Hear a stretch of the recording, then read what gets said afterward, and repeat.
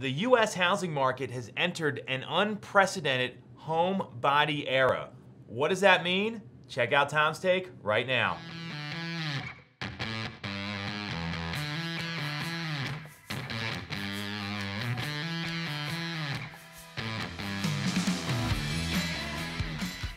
News of the home body era is all over Bloomberg, Business Wire, all the different places that talk about the housing market.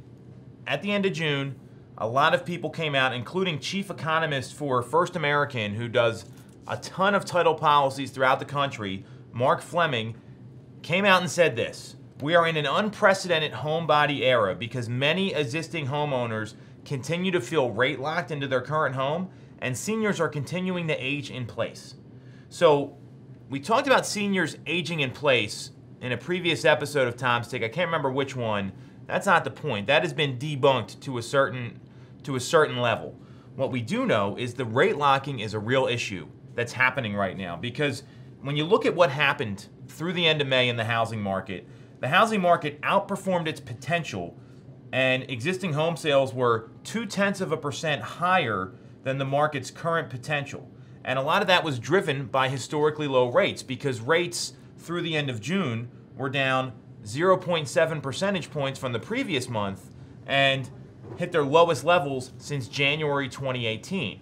So what's happening is, and where we're seeing the change, I got to go to my notes here because we're dealing with a ton of data.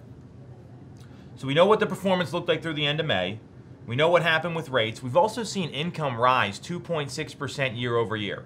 So people are making more money, rates are lower, and there are still 80,000 less sales than this time last year in the entire country. So the home number of home sales are down despite these positive indicators for buyers, low rates, higher income. Credit is also loosening right now. So the credit standards to get approved for a loan are loosening. So this is very very friendly conditions for buyer affordability. The challenge is the inventory's not there.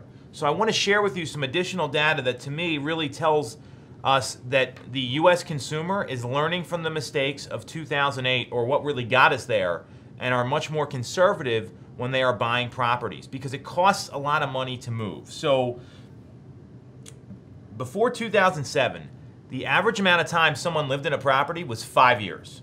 That's how long they owned it.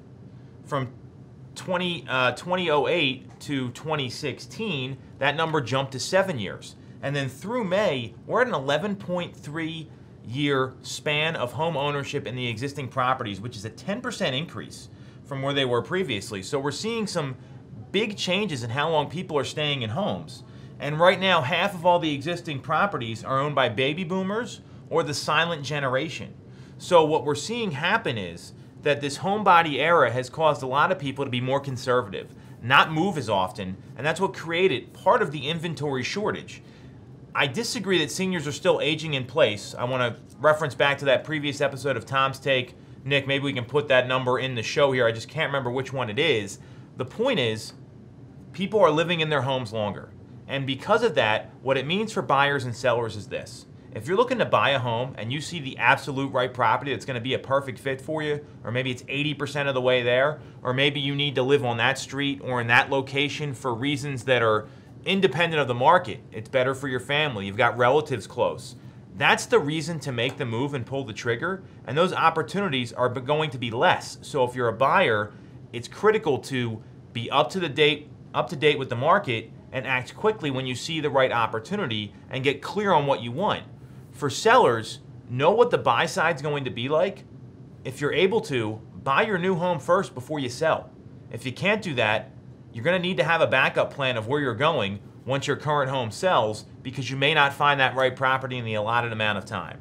So it's about having a plan, knowing what the path is, and being really clear on the market conditions. So this homebody era, all this tells me is that people are learning from their mistakes. And I love to see that because being conservative financially is going to help you long term when it comes to building your wealth.